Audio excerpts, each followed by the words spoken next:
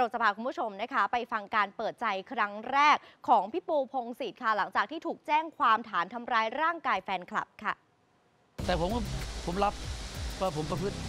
คลิปนั้นก็ชัดเจนอยู่แล้วว่าถ้าปฏิเสธก็หมาแล้ว กล้าทำกล้ารับค่ะนักร้ องเพลงเพื่อชีวิตปูพงศิษฐ์คัมภีร์หลังก่อเหตุเช้ามีคลิปจากภาพกล้องวงจรปิดทำร้ายแฟนเพลงชาวบุรีรัมย์เมื่อต้นเดือนที่ผ่านมา จนอีกฝ่ายเขาแจ้งความดำเนินคดีฐานทำร้ายร่างกาย ล่าสุดวันนี้ปูก็เปิดปากเป็นครั้งแรกถึงเหตุการณ์ที่เกิดขึ้นค่ะ เข้าใจนะว่าเป็นนักร้องนักดนตรีทำงานบริการเจอกระเลวล่าก็เจอเกือบทุกวันแหละแต่ว่าแล้วแต่วันไหนทนไม่ทน